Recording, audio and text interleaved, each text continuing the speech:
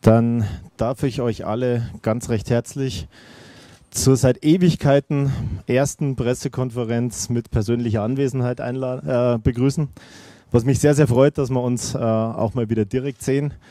Ähm, wo ich aber gerne im Vorfeld, bevor ich unseren neuen kaufmännischen Geschäftsführer zu Wort kommen lassen möchte, vorher gerne noch mal kurz äh, erklären möchte, warum äh, wir uns jetzt heute persönlich treffen können und äh, ansonsten mit Michael Kölner und Günter Gorenzel nicht. Das liegt schlicht und einfach daran, dass die beiden im, im Inner Circle der, der Mannschaft sind, dass die beiden in den, in den Corona-Testungen dabei sind und dass da einfach die Regelungen äh, des DFB ganz anders aussehen wie bei uns beiden, äh, die wir nicht alle zwei Tage getestet werden. Und von dem her können wir heute unter Wahrung der, der Abstände auch äh, das Ganze vor Ort machen. Ja, bedanken möchte ich mich äh, im Vorfeld beim Bene Lankes, der uns äh, den Löwenstüberl Biergarten heute zur Verfügung stellt. Äh, und Bene, dir auch ganz offiziell nochmal nachträglich herzlichen Glückwunsch zum, ich glaube, 25. Geburtstag. Und dann darf ich auch gleich das Wort an unseren neuen kaufmännischen Geschäftsführer Marc Nikolai Pfeiffer übergeben. Schön, dass du da bist und würde dich bitten, ein paar Worte zu den Kollegen zu sagen. Vielen Dank. Ja, vielen Dank für die einleitenden Worte. Liebe Kolleginnen und Kollegen, sehr geehrte Damen und Herren, auch von meiner Seite nochmal ein herzliches Willkommen. Hier im schönen Bayern sagt man ja, habe die Ehre oder Servus. Zumindest habe ich mir das damals, als ich vor rund zehn Jahren hier in München gelebt habe, auch noch so gemerkt und ähm, fühle mich, wenn ich jetzt auch zurückkomme, wirklich wieder recht schnell heimisch. Freue mich, heute hier zu sein, ähm, Sie und euch alle persönlich kennenlernen zu dürfen und mit euch sehr vertrauensvoll und eng zusammenzuarbeiten. Zunächst möchte ich mich anfänglich nochmals bei den Gesellschaftern recht herzlich bedanken beim Verwaltungsrat, beim Beirat für das in mich gesetzte Vertrauen. Ähm, kann berichten, dass wir mit allen sehr positive, sehr professionelle Gespräche hatten und bin, wie gesagt, sehr dankbar, ähm, dass einheitlich sich die Gremien für eine Zusammenarbeit mit mir ausgesprochen haben. Möchte mich auch an der Stelle direkt ähm, beim Günter Gorenzel bedanken, der mich hier auch sehr offen im Empfang genommen hat, mir seine Einschätzung mitgeteilt hat, wie, wie er die Situation sieht und aber auch immer wieder betont hat, dass ihm sehr daran gelegen ist, dass ich mir auch mal ein eigenes Bild mal mache und dass wir da sehr gut zusammenarbeiten können. Gleichzeitig gilt auch mein großer Dank an alle Mitarbeiterinnen und Mitarbeiter hier im Verein, ähm, die auch dieses gute Gefühl des Ankommens vom ersten Moment an sichergestellt haben, mit einer Sympathie, mit einer Wärme, mit einer Offenheit mir begegnet sind, was, was so nicht selbstverständlich ist und was ich an der Stelle einfach auch nochmal rausstellen möchte. Ja, wie gesagt, zusammenfassend ähm, war es bis dato sehr offen, sehr positiv, sehr kooperativ und sehr wertschätzend.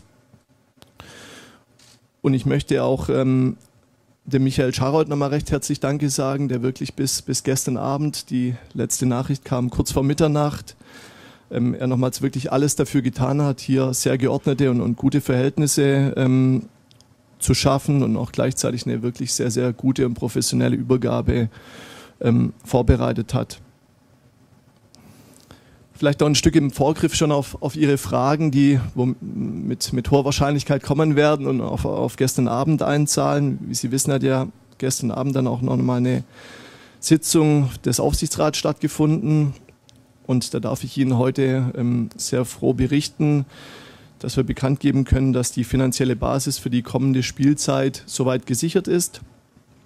Die Gesellschafter und die Geschäftsführung hatte in den letzten Tagen auch äh, stark unterstützt von Michael sehr produktive Gespräche und ähm, das Ergebnis ist, dass ein nachhaltiges Finanzpaket verabredet wurde welches wie gesagt vom, vom Aufsichtsrat gestern diskutiert und ähm, auch einstimmig genehmigt wurde und es uns die so wichtige Planungssicherheit für die neue Spielzeit beschert. Das ist wirklich eine sehr, sehr wichtige und, und gute Botschaft und das Ergebnis der Bemühungen aller. Ähm, im Vorfeld äh, der viel zitierten und wie ich es jetzt auf den, auf den ersten Eindruck dann auch wirklich äh, direkt wahrnehmen durfte, im gesamten Löwenfamilie, die hier zusammensteht und wo jeder seinen eigenen großen Beitrag geleistet hat. Deswegen auch nochmal mein ganz besonderer Dank an dieser Stelle den beiden Gesellschaftern, dem Hassan Ismaik, der natürlich an der Stelle einen bedeutenden finanziellen Beitrag nochmals geleistet hat, der e.V., der sich weiterhin sehr stark und im erheblichen Umfang auch der Jugend widmet, den Junglöwen im NLZ. Und an der Stelle möchte ich auch gleichzeitig nochmals die Sponsoren und Partner ähm, hervorheben, die natürlich auch mit Blick auf die neue Spielzeit jetzt schon ihre Verträge ähm, geschlossen haben. Den Dauerkartenbesitzern und Fans möchte ich ähm, auch ein großes Dankeschön entgegenbringen, die auch im Rahmen der Macht der 60er voll Aktion auch einen wesentlichen Teil dazu beigetragen haben, sodass wir wirklich alle Mitglieder der Löwenfamilie ähm, an einem Strang ziehen hatten. Und ähm, obwohl es sehr herausfordernde Zeiten sind, die uns Corona beschert, haben wir jetzt wirklich eine sehr, sehr gute Basis, auf der wir aufbauen können. Jetzt freue ich mich auf Ihre Fragen und auf die Zusammenarbeit und ähm, danke, dass ich hier sein kann. Ja, vielen Dank für die ersten Worte. Dann hätte ich das Mikro für eure Fragen und äh, würde auch darum bitten, dass ihr euch vielleicht vorher ganz kurz vorstellt, bevor ihr die Frage stellt.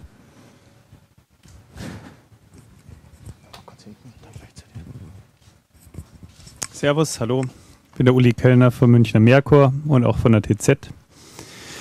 Ähm, übrigens glühender Kickers-Fan seit 1986 in beiden Bundesjahren dabei gewesen. Also da können wir mal irgendwann wieder drüber reden. Zu meinen Fragen. Also erstens mal würden mich natürlich Details, die Details dieses Pakets interessieren, von dem Sie sprechen. Dann würde mich äh, interessieren, ob Verträge dann zeitnah verlängert werden können. Drittens würde mich interessieren, ähm, wie der Kontakt zu, äh, zu 60 zustande gekommen ist. Ja, und dann hätte ich noch nachher noch eine weitere Frage, aber das drei auf einmal reichen. Das heißt, genauso wie ich es noch, Sie sich in der Farbe sozusagen treu. Ähm, das, ist, das ist schon mal ganz schön, dass wir da eine gemeinsame Verbindung haben. Ich würde mit der dritten Frage anfangen, wie, wie die Zusammenarbeit zustande gekommen ist. Ähm, es war im Medial ähm, öffentlich dann äh, Ende des letzten Jahres, dass der Michael Scharold ähm, und die KG, KGAA die Zusammenarbeit beenden. Ähm, ich hatte mit einem dem Verein sehr nahestehenden ähm, ein informelles Gespräch und, und so sind wir eben auch auf die Vakanz gekommen. Derjenige hat mich gefragt, ob das nichts wäre für mich, ähm, um meine, meine Zeit und meine Energie hier ähm, dem Verein zur Verfügung zu stellen. Und nachdem ich mich da so ein bisschen rein überlegt habe, hat mich diese Idee ähm, ja, angefangen zu begeistern und ähm, dann hat eine klassische Bewerbung stattgefunden. Ich kann auch berichten, dass es ein gutes, professionelles Bewerbungsverfahren war, das sich dann auch ähm, über einen recht langen Zeitraum gezogen hat. Und wie eingangs erwähnt, bin ich auch sehr dankbar, dass das ähm, von beiden Gesellschaftern dann auch am Ende zu einer einheitlichen Entscheidung gekommen ist. Die ersten beiden Fragen sind ja sehr nah beisammen, bezogen auf das Thema, wie jetzt halt hier die Planungssicherheit sich zahlenmäßig darstellt. Da würde ich Sie bitten, nachdem ich jetzt offiziell seit drei Stunden auf dem Vereinsgelände bin, auf der einen Seite zwar eine sehr ordentliche und, gute Übergabe stattgefunden hat, aber ich mir erst einen profunderen Überblick verschaffen will, dass wir die Detailfragen bezogen auf ähm, die Budgets für die neue Spielzeit noch ein bisschen nach, nach hinten verabreden.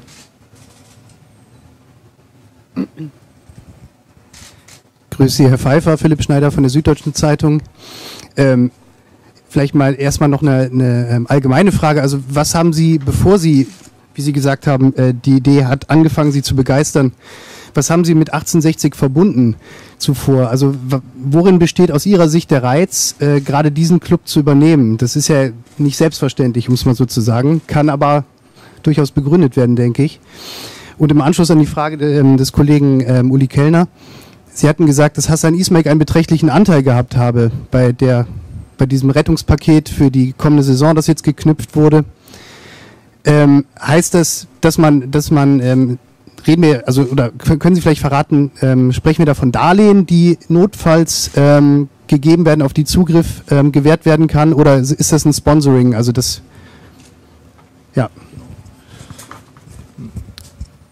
Vielleicht zu Ihrer ersten Frage. Ich meine, wie wir alle hier sind, haben wir, glaube ich, alle ein sehr, sehr großes Interesse an dem Sport und an dem Fußball. Und ähm, ich glaube, jeder, der im Fußball arbeitet, der hat zunächst mal auch den Anspruch, sich bezogen auf das, um was es am Ende geht, auf, äh, auf die sportlichen Ergebnisse dann auch ähm, weiterzuentwickeln. Und da war sicherlich auch die, die Liga-Zugehörigkeit ein elementares äh, Mitentscheidungskriterium. Ähm, andersrum das, das durchaus vorhandene Potenzial und ähm, ich hatte das mal angedeutet, ähm, es gibt durchaus auch Aufgaben und Themenstellungen, die, die gleichgelagert sind. Hier natürlich nochmal mit einem, mit einem Faktor an höherer Komplexität, ähm, definitiv. Ähm, aber da kam auch das Zutrauen, mich, mich hier mit der Erfahrung äh, einbringen zu können und auch meinen Teil im Team dazu beitragen zu können, dass, dass wir hier eine, eine Fortentwicklung hinbekommen. Und ähm, ja, ich glaube, glaub, die Themen, für die, für die 1860 München steht, die, die kennen Sie noch besser wie ich. Äh, die Tradition, äh, die Historie, das Umfeld und, und das Potenzial in der Stadt. Ich glaube, das ähm, ist Ihnen, wie gesagt, viel, viel geläufiger wie mir, aber das waren sicherlich auch Faktoren, die mich nochmals äh, zusätzlich begeistert haben, hier ähm, ja, die Hand zu heben und mich auf die Stelle dann auch zu bewerben.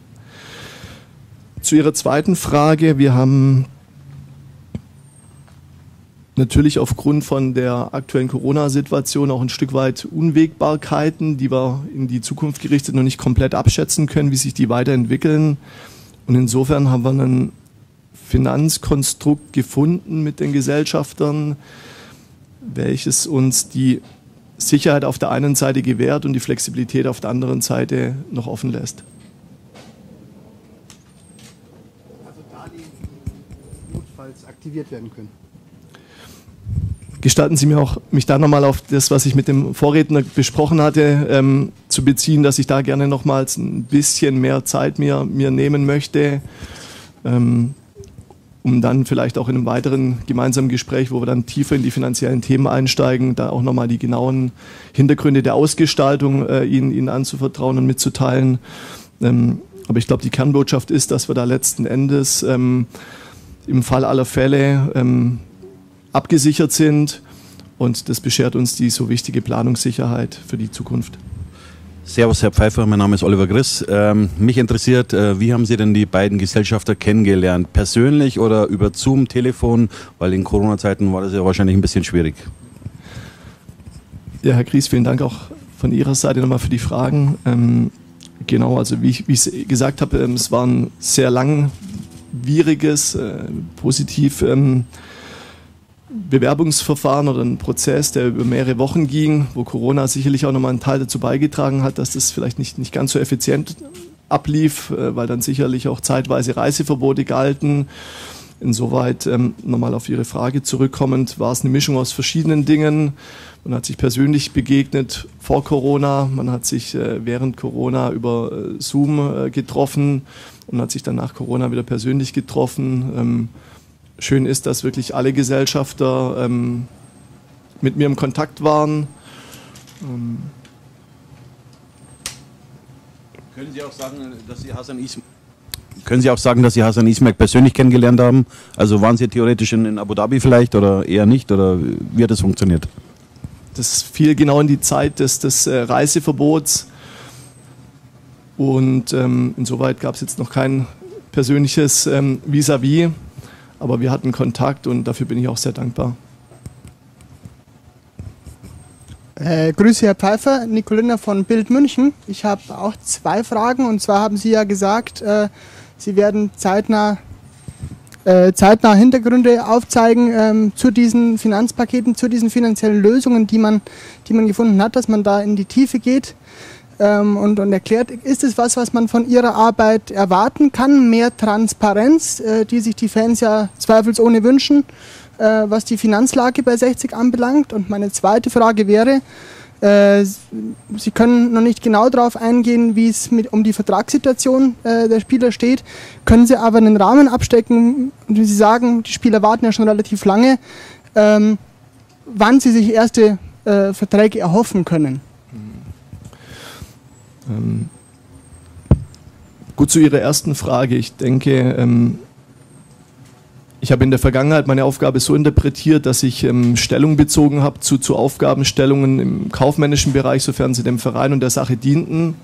Also es geht halt immer um den Verein und wenn wir mit der Kommunikation äh, 1860 München helfen können, dann werden wir da sicherlich auch äh, Stellung nehmen und da bin ich auch gerne bereit, in, in Verantwortung und in den Austausch zu gehen. Ähm, wie tief man gemeinsam über Hintergründe in der Öffentlichkeit spricht, wird man, wird man dann gemeinsam sehen müssen. Das ist sicherlich themen- und aufgabenabhängig. Ähm, aber ich glaube, ganz wichtig ist, dass wir es gemeinsam schaffen, ähm, wenn ich so sagen darf, den Verein oder auch die Vereinsmarke zu transportieren, weil das sicherlich auch im kaufmännischen Bereich hilft, die Potenziale zu heben. Zu Ihrer zweiten Frage, wie gesagt, wir haben gestern am späten Abend ähm, Einigung erzielt und, und, der Aufsichtsrat hat sich da sozusagen auch zu dieser Lösung bekannt. Ähm, jetzt ist der Sport heute schon auf dem Weg nach Groß Asbach. Ich denke, wir werden uns dann auch morgen mit dem Günther zusammensetzen und dann die weiteren Schritte gemeinsam abstimmen und besprechen. Matthias Eicher von der Abendzeitung. Hallo auch von meiner Seite, Herr Pfeiffer. Ähm, meine erste Frage wäre, ähm, können Sie denn Ihre grundsätzlichen Ziele umreißen? Denn Sie wissen ja bestimmt auch, die ganze Fanbasis wartet und hofft, dass 60 dann irgendwann mal wieder die Rückkehr in die zweite Liga schafft. Zweite Frage fernab vom Sport. Ähm, was machen Sie denn mit Ihrer vermutlich wenigen Zeit, wenn Sie sich mal nicht mit Fußball oder Zahlen beschäftigen?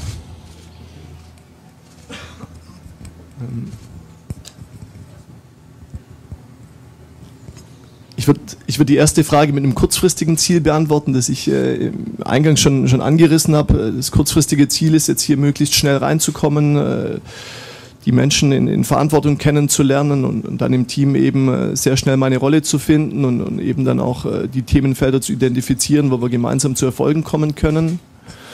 Ähm, zum Thema langfristiges Ziel. Ähm, sehr wohl wissen, dass bei Traditionsvereinen, die in der Vergangenheit große Erfolge hatten, natürlich dann auch immer schnell ein Anspruch erwächst. Ist es, denke ich, wichtig, ähm, realistische Ziele zu haben, die natürlich dann auch ein Stück weit immer korrespondieren mit der Fragestellung, mit welchen Mitteln kann ich den Spielbetrieb finanzieren und äh, über die Finanzierung des Spielbetriebs, welche realistischen Ziele sind dann auch möglich. Ähm, zu Ihrer zweiten Frage. Ähm, die Aufgabe und der Beruf im Fußball ist durchaus sehr zeitintensiv. Ähm, bringe mich da auch wahnsinnig gerne ein, weil es mir, mir Spaß, Freude bereitet. Ähm, versuche einen Ausgleich zu schaffen, indem ich selber morgens mich immer äh, vor der Arbeit noch sportlich betätige. Und ja, Freundschaften, Pflege, Netzwerke, äh, Pflege, was, was sicherlich in dem einen oder anderen Fall auch dem, dem Fußball und dem Verein dann immer ähm, dienlich sein kann. Herr Pfeiffer, Sie haben ja beim, bei da drüben mal hospitiert bei Hermann Gerland. Äh, für welche Farben schlägt Ihr Herz als, als Fußballfan? Genau, also die Sorge kann ich Ihnen nehmen, dass, äh, dass das Herz rot ist. Ähm, ich habe damals ähm, hier vor rund zehn Jahren für Nike in der Stadt gearbeitet. Ähm, da waren die Roten ja mit den drei Streifen unterwegs und, und äh, da hatte ich so ein bisschen nebst der Hospitation natürlich auch den, den Swoosh im Hinterkopf. Für mich war es immer spannend, wohl wissen, dass mein Weg im, Management eines Fußballvereins ähm, vorgezeichnet ist, auch zu verstehen, was auf dem Platz passiert. Und habe über einen familiären Kontakt die Möglichkeit eben gehabt, beim, beim Hermann Gerland ähm, zu hospitieren. Ähm, in meiner Jugend bin ich in, in Stuttgart bei dem Roten Verein äh, groß geworden und habe das Fußballspielen gelernt, ähm, habe aber sicherlich jetzt sehr vier prägende und emotionale äh, Jahre bei den Stuttgarter Kickers gehabt. Ähm, und behaupte sagen zu können, dass da schon eine enge Verbindung und eine Emotion gewachsen ist. Mit den Stuttgarter Kickers, genau. Fan im klassischen Sinne. Ich denke, man lebt auch immer die Aufgabe, oder zumindest geht es mir so.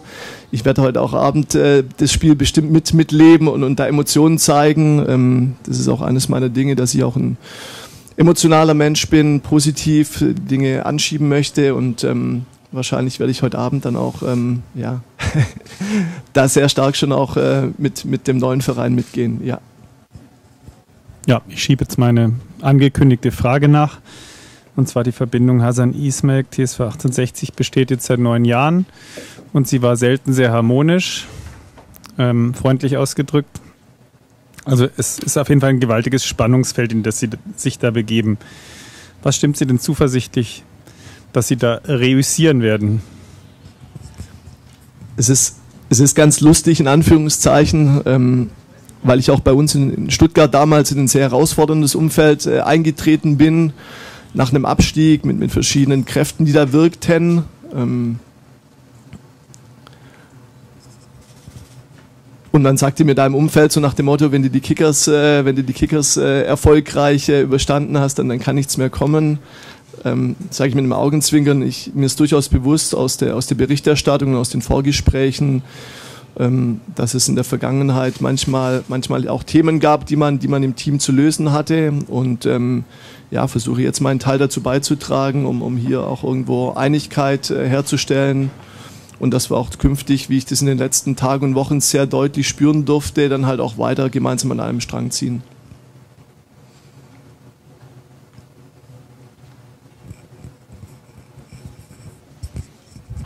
Herr Pfeffer, haben Sie Menschen oder Personen im Freundeskreis, die gesagt haben, warum machst du das überhaupt? Weil es ist ja bekannt, 60 ist, ein pulverisierender Traditionsverein, ähnlich wie die Stuttgarter Kickers. Ähm, warum macht man so eine Aufgabe? Klar ist es für Sie auch eine Chance, aber, aber warum tut man sich sowas an? Ich habe sehr viel Glückwünsche und, und, Bestärkung aus dem Umfeld erfahren dürfen. Ähm, auch viele, die gesagt haben, wenn ich die Themen, die ich bei den Stuttgarter Kickers so gelebt habe, so verantwortet habe, wenn ich es schaffe, ähm, auch die Dinge, die, die wir dahin bekommen haben, auch letzten Endes ein Stück weit äh, mitzunehmen äh, in die jetzige Aufgabe, dass es uns gemeinsam in, in, in, der jetzigen Konstellation gelingen kann, dass wir da auch ähm, ja, Erfolge gemeinsam haben. Und wie ich sagte, ich bin da eher ein positiver äh, Weggefährte und, und ähm, habe eigentlich die, ja, natürlich nimmt man wahr, wenn man irgendwo sensibilisiert wird, ähm, aber habe jetzt bei Menschen, die einen da irgendwo abhalten, um, um nicht zu sagen rückhalten wollen, habe ich eigentlich äh, nicht, nicht genau hingehört, sondern habe mich auf die Kommentare bestärkt, die, die auch dahinter stehen und ähm, freue mich jetzt, wie gesagt, sehr stark hier mit, mit Ihnen und euch gemeinsam dann auch das, das Thema hier aufzugreifen. Ähm, Herr Pfeiffer, unter Vorbehalt, dass Sie sich natürlich noch in die, in die Zahlen reinfuchsen müssen und noch keine komplette Übersicht haben. Aber einfach so die, die Ferndiagnose, wenn man so will. Äh, wie wichtig ist aus Ihrer Sicht ein Aufstieg in die zweite Liga für 1860 aus finanzieller Sicht? Also das Thema, wie krank ist das Finanzkonstrukt äh, als solches in der dritten Liga? Gut, sehr allgemein gesprochen ist es im Fußball immer von Vorteil, sicherlich äh, sportlichen Erfolg zu haben, der in allen Bereichen, ob das dann TV-Geld, Sponsorengelder betrifft, äh, Merchandising, Ticketing, natürlich dann auch eine höhere oder bessere Erlagslage beschert, ähm, als es die unterklassigere Liga im Vergleich dann halt tut. Andersrum im, im speziellen Fall ähm, haben wir durch diese, haben wir durch diese Übereinkunft jetzt zumindest mal eine gewisse Form der Planungssicherheit geschaffen, die halt sehr wichtig ist, ähm, die auch liga-unabhängig funktioniert. Und nichtsdestotrotz ist es definitiv elementar wichtig, dass wir alle gemeinsam, ähm, Sponsoren und Partner, Fans, alle unseren Teil dazu beitragen, ähm, ja, auch die, auch die Ertragslage so, so darzustellen, dass wir dann auch weiterhin dem Günter Gorenzel Mittel zur Verfügung stellen können, die er dann in den Sport allokiert. Aber die äh, gefundene Lösung basiert ja, also ist ja quasi ein Zuzahlgeschäft, das man möglichst nur auf Zeit so anlegen sollte. Und es muss ja irgendwie das Ziel sein, das Unternehmen auf eigene gesunde Füße zu stellen. Und ob das überhaupt in der dritten Liga mit dieser Struktur, ich weiß, Sie kennen jetzt noch gar nicht alle Zahlen, aber mhm komme ich nochmal auf, auf den Eingang der, der, der Aussage zurück. Also natürlich erhöht es die Wahrscheinlichkeit, wenn du sportlich erfolgreich bist, auch äh, wirtschaftlich ähm, solide, solide ein Unternehmen führen zu können. Das ist definitiv der Fall. Ähm, aber andersrum muss macht es wenig Sinn, jetzt hier irgendwelche sportlichen Ziele auszugeben, die, die du wirtschaftlich nicht, äh, nicht tragen oder finanzieren kannst. Und es muss immer in einer Balance und im Gleichklang passieren. Und das ist so die, die, die Ausgangslage, auf der wir uns bewegen. Herr Pfeiffer, äh, wie würden Sie sich selber beschreiben? Was sind Ihre Stärken? Also ich bin sicherlich ehrgeizig, ob das jetzt eine Stärke ist. Nein, Ehrgeiz zweifelsohne, äh, Siegeswille, äh, im Team zu arbeiten, es ist ein Thema, kreative Ansätze zu verfolgen, ähm, dass ich auch immer zugänglich bin, ähm, dass ich auch aus einem familiären Umfeld komme und mich in einem familiären Umfeld dann auch sehr gut einfügen und eingliedern kann. Das umreißt, glaube ich, so meine Person ganz gut. Heimat ist dort, wo man sich heimisch fühlt, habe ich so ein bisschen gelernt im Laufe der Zeit. Also ich durfte ja nach äh, meinem dualen Studium, das mir schon verschiedene Orte in, in Deutschland beschert hat, dann auch über Nike und Hummel in Frankfurt und in Hamburg leben. Und ähm, da hat sich wirklich herauskristallisiert, glaube ich, die Familie in Stuttgart. Ähm, aber wenn man eine tolle Aufgabe hat, ein tolles Umfeld, ähm, dann fühlt man sich da sehr, sehr schnell heimisch. Und ähm, das habe ich hier jetzt, obwohl es äh, sich um Stunden äh, handelt, ähm, auch schon spüren dürfen, dass man hier mit, mit sehr viel ähm, Offenheit und, und Sympathie empfangen wurde. Und ähm, das trägt natürlich seinen Teil dazu bei, dass man mit einer höheren Wahrscheinlichkeit sich sehr, sehr schnell hier heimisch fühlen kann. Wie erleichtert sind Sie denn, dass quasi Minuten vor dem offiziellen Arbeitseintritt ähm, eigentlich die schwerste, herausforderndste äh, Arbeit gelöst wurde, nämlich das Finanzpaket zu schnüren? Ja, also es war wirklich äh, dank Michael Scharold nochmal eine sehr, sehr gute Ausgangslage, auf der wir natürlich jetzt irgendwo aufsetzen können. Ähm, heißt aber nicht, dass wir uns jetzt hier im Team zurücklehnen können, sondern die Arbeit, die, die fängt jetzt an, mit Blick auf die Vorbereitung, was die neue Spielzeit betrifft, in allen Bereichen. Und da gilt sicherlich noch ähm, ja, viele wichtige Themenstellungen ähm, im Team gemeinsam zum Erfolg zu bringen. Ähm, ich wollte nochmal nachhaken äh, bei der Frage vom Kollegen Schneider. Ähm, und zwar ähm, zur Gesundung generell, zur finanziellen. Ist das in der dritten Liga Ihrer Ansicht nach überhaupt möglich? Mein Stichwort ist hier immer Konsolidierungskurs, über den heftig diskutiert wird unter den Fans. Ähm, man weigert sich irgendwie gegen, gegen Darlehen und, und andere Formen äh, richtig, richtig Geld reinzupumpen. Ähm, ist die dritte Liga für diesen Konsolidierungskurs Ihrer Meinung nach überhaupt die richtige Liga? Allgemein habe ich es beantwortet, im Speziellen würde ich Sie da wirklich noch mal ein bisschen um Aufschub bitten, dass ich da noch mal in die Details einsteigen kann, um mir ein noch besseres Bild zu machen, ähm, wie sich die Situation darstellt und, und ähm, welche Möglichkeiten die aktuelle Liga bezogen auf die Aufwands- und Ertragslage uns beschert. Herr Pfeiffer, was mich auch interessieren würde, äh, sind Sie bei jedem Auswärtsspiel auch dabei? Sind Sie so, so, ein, so ein Geschäftsführer, als kaufmännischer Geschäftsführer, der immer dabei sein will? Oder sagen Sie, nee, das soll der Sport machen? Was haben Sie da für eine Sichtweise? Wie ich es eben sagte, wenn es der Sache dient, ähm, bin, ich, bin ich sehr gerne dabei. Natürlich möchte ich mal die Arbeit auch rund um den äh, Spieltag, äh, heim und auswärts, mir jetzt mal genau anschauen. Auch da findet ja in der Zusammenarbeit mit, mit Ihnen allen äh, Kommunikation und ein Austausch statt, was ich mir genauer anschauen möchte. Ich möchte mir die Abläufe genauer anschauen gibt auch sicherlich Themen, die insgesamt auf die Organisationen Einfluss haben bei den Spielen.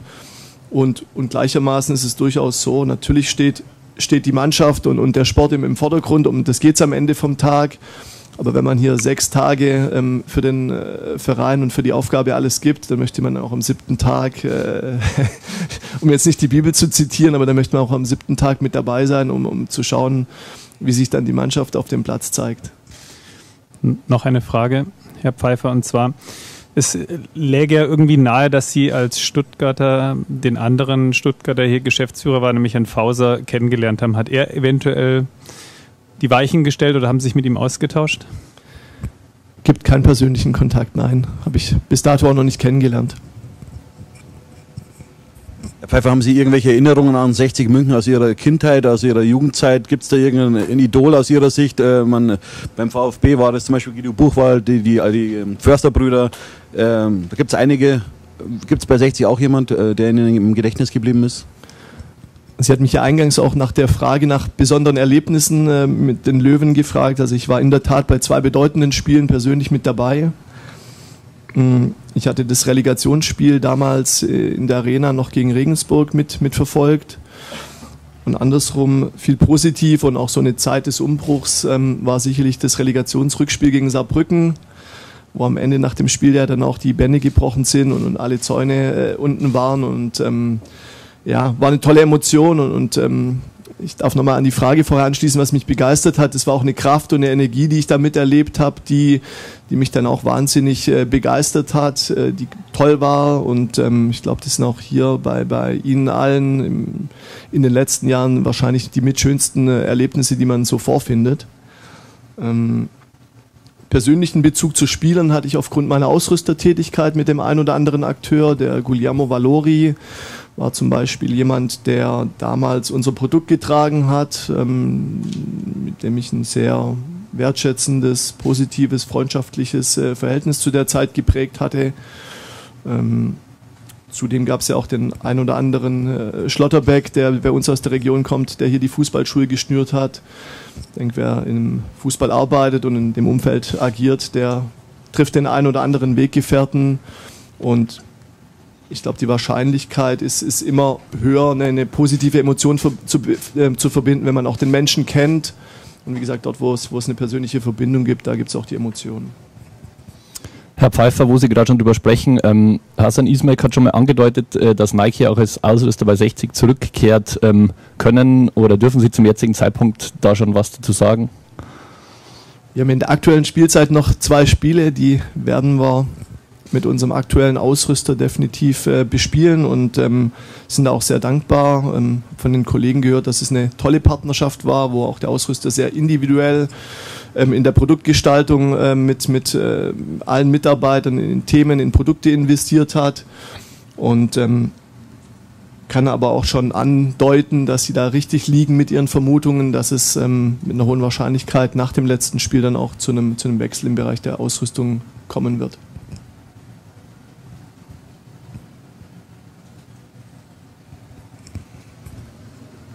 Gut, der Blick in die Runde sieht so aus, als gäbe es keine weiteren Fragen. Dann sage ich vielen herzlichen Dank für die erste Vorstellung. Dankeschön, dass ihr alle an dem schönen Tag in den Löwenstübel Biergarten gekommen seid. Und ja, dann können wir uns langsam vorbereiten auf hoffentlich drei Punkte in Groß Asbach. Also auch von meiner Seite nochmal vielen Dank für das zahlreiche Erscheinen, auf gute Zusammenarbeit. Ganz lieben Dank.